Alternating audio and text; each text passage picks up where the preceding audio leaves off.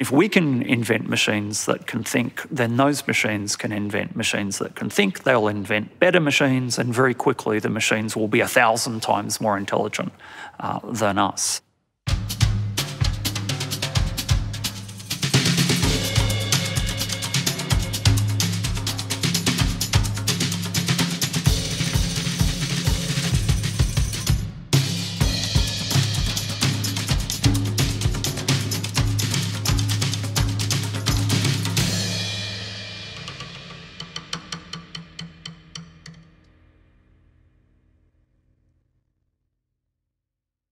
Don't think we can imagine that there would be any limit to where automation can be applied to, to human endeavour. It will literally be in everything that we touch. Artificial intelligence uh, or machine based learning algorithms have the potential to certainly revolutionise what we do. Automation is basically transforming that manual process into a totally automated process from the beginning to the end. So, in the past, when we wanted to make decisions about resource allocation, we might use computers to enhance our decision making capabilities. But what is happening is that we're starting to allocate the responsibility for making decisions to computers. And so we're abdicating, if you like, a moral responsibility for making decisions. The robots are here, they've been here for probably 30 or 40 years. It's funny the way that our brains react to the concept of A, artificial intelligence, and B, um, things like robots teaching robots. We tend to humanize artificial intelligence all the time and think about a robot in terms of a humanoid. Our phone is, is right now the main robot and doesn't look anything like us. I don't think it's, there's been a limit to where automation's been applied in the last hundred years through the 20th century. Every aspect of human life has had automation applied to it. So I think that in the future, uh, human beings will be treated as drunk robots. What I mean by that is that we won't be allowed to drive, that when we sit down behind the wheel uh, of a car, we'll place the lives of other human beings at risk. They won't like that and they'll say, well, you're just like a drunk robot. The driverless car has been long touted as the eliminator of taxi drivers and truck drivers and bus drivers and so on. Instead of buying a car, we hire or rent the transportation service. It's seeing the car as a mechanism for transportation. And so it doesn't need to be owned, it can be shared. It's efficient, it makes sense. So, for me, actually, the most important question is what do we want transport to look like in the future? Is this an opportunity to actually take cars off the roads? So you could step into the car at home, decide that, hey, I need to do a whole lot of work. I'm going to sit in the back. The car will drive on its own. There's no steering wheel, there's no uh, pedals. You're literally just a passenger there for the ride. As a car enthusiast, I don't want driverless cars in my future. But as a member of society, I understand that we have to have them. In some ways, the thing that's actually holding us back is the ethical questions. Uh, there's the ones that people have perhaps already heard of about who the machine should kill uh, when it's in a forced crash situation. Uh, then there's questions about the responsibility for accidents involving driverless vehicles. It's very rarely that you can pinpoint and say, this software has caused this. But in a driverless car, it's definitely not the human It is a team who has prepared that software. And the decisions that have put in that software are going to be the ones that are going to go into law. We've already seen Tesla with its autopilot was partly to blame for a fatal car accident in the US. And that's where the driver allowed the car to drive itself. But the car always had the note on the screen saying that you must be able to retain control.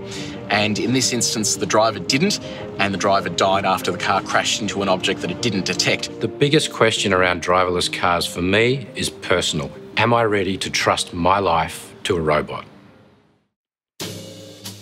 Automation will displace labour, and not just a little bit of labour, that labour across the planet. There is, you know, 800 million odd people in productive work that could be automated. 800 million. Just say that slowly to yourself as you watch this 800 million people. Uh, if I stood here and I announced that I was going to put 30% of the population out of work, I was going to radically disempower uh, some people, I was going to put enormous political power in the hands of other people, and I said I was going to do that because I'm a revolutionary, people would completely freak out and they would demand a say.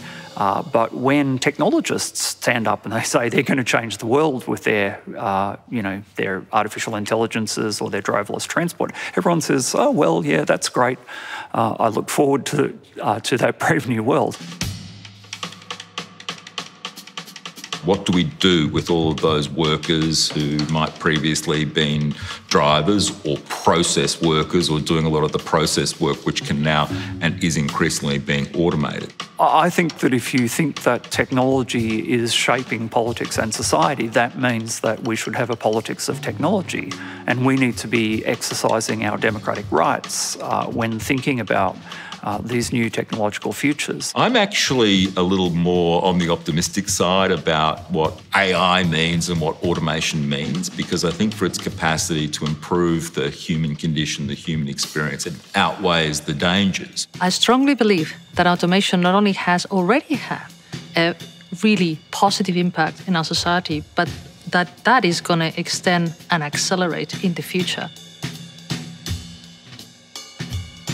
using these sorts of technologies, artificial intelligence, the smart technologies, really is going to offer the opportunity to test out ways to deliver support that's more cost effective, but I think even more importantly, builds a greater sense of autonomy and independence for a person that might be living with really high support needs from disability. It's fair to say that 3D printing could be a real game changer in the pharmaceutical arena. So you could imagine the doctor could even have a 3D printer on his desk and print your tablets while you're there you know, having your consultation. I think it's more a case of what do humans do with the extra time that's perhaps created and how do we reward humans for what that might enable in terms of creative potential. The elephant in the room when you talk to engineer about robots is sex robots. And of course, we know that sex sells. And so, if you can build a sex robot, it's kind of the killer app uh, for social robotics. If you can automate creativity, if you can create an artificial intelligence that's able to better the best human artists, then it, it really puts us in our place. I um, remember just one day being able to visualize something that was just from my imagination. And it was just a really amazing, poignant moment, I guess, where you suddenly realize the potential of a machine to compose space and time in a way that no other system had ever been able to do before. If we can invent machines that can think, then those machines can invent machines that can think. They'll invent better machines, and very quickly the machines will be a thousand times more intelligent uh, than us.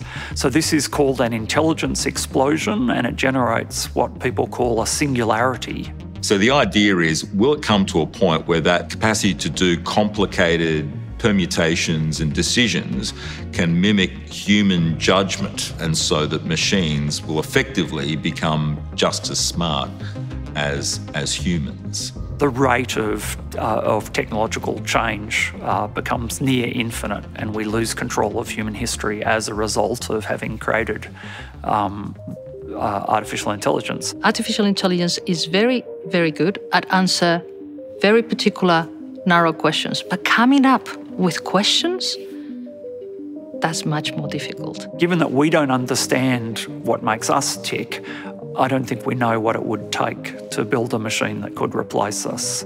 I think the key challenges that we're going to face as we enter this world where we're collaborating with artificial intelligence is understanding what human creativity is in this new world where you've got co creation and collaboration between non human entities.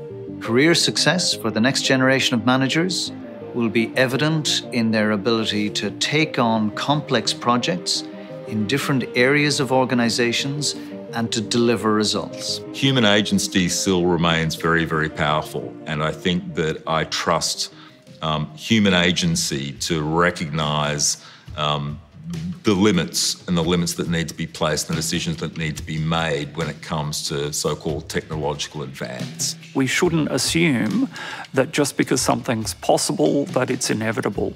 It's, it's, it's up to us. It really is up to us. So robots offer no threat to humanity. If there's a threat to humanity, then it's humanity itself.